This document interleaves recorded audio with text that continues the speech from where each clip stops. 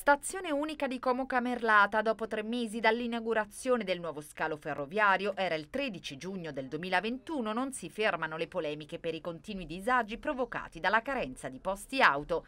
A chiedere informazioni in Consiglio Comunale su come l'amministrazione intenda procedere per arginare i numerosi disagi provocati all'utenza il consigliere comunale del Partito Democratico Gabriele Guarisco.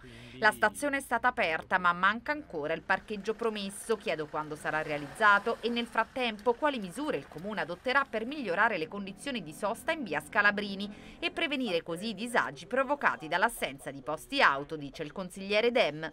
I lavori per la realizzazione del nuovo parcheggio saranno ultimati a dicembre. Con il nuovo anno il posteggio sarà accessibile a tutti, è la risposta che arriva dalla giunta comasca.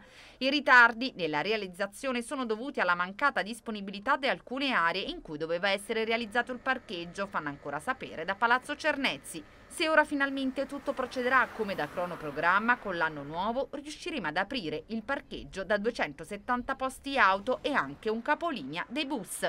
Ad oggi però non è presente ancora nessuna traccia dei circa 200 posti auto che il comune dovrebbe realizzare. Con l'ampliamento dello snodo sarebbero infatti dovuti aumentare anche gli spazi per le auto a servizio di pendolari e viaggiatori, oltre che del personale di servizio. L'opera infatti è stata finanziata da Regione Lombardia ed è in capo al comune la realizzazione dei posti auto.